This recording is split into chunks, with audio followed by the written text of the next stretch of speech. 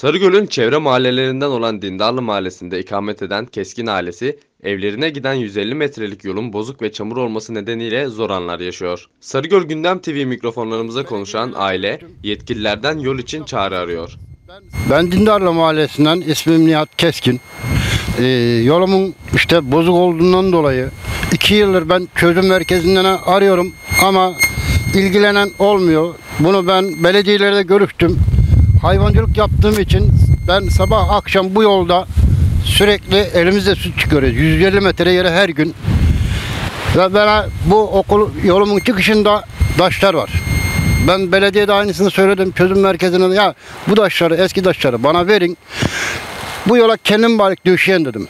Ama hala da bir cevap alamadık. Ben bu yolumun bir an önce taş döşenip bu çileden kurtulmak istiyoruz. Benim çocuğum var ufak ana sınıfına okul öncesine giden her gün çamurda bu çocuk okula gidiyor. Çözüm merkezine başvurduk. Ee, işte bu şekilde yolun bozuk diye Peki ne gibi bir cevap geldi? biz belediye bildireceğiz Sarıgöl Belediyesi'ne diyorlar ama arkasına bir sonuç alamıyoruz. Yani gittim ben belediye fen işleriyle görüştük bu konuları. Aynı şekilde yolumun çok bozuk olduğunu.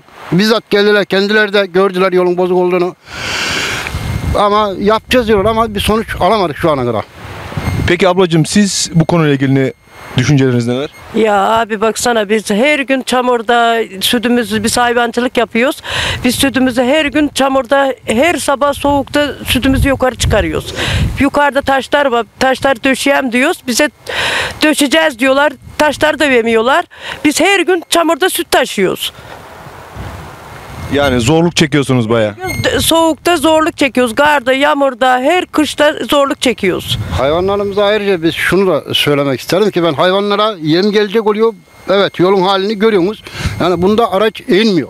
Benim bir hastam olsa bu yoldan araç çıkar mı yani?